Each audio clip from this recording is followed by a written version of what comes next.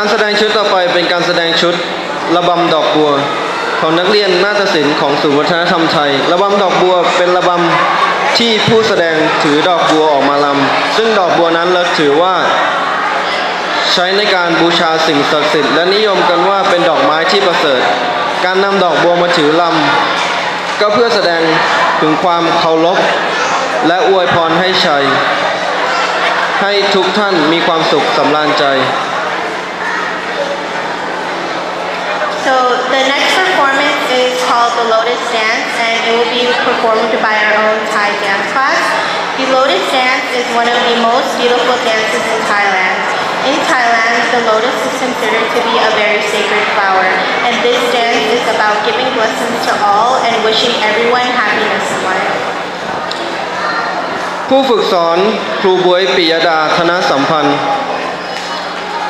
รายชื่อผู้แสดงคนที่หนึ่งเด็กหญิงเคหาพลอยกมลปัญญากุล คนที่สองเด็กหญิงอาราดาแซ่ตัน คนที่สามเด็กหญิงฮันนาโรส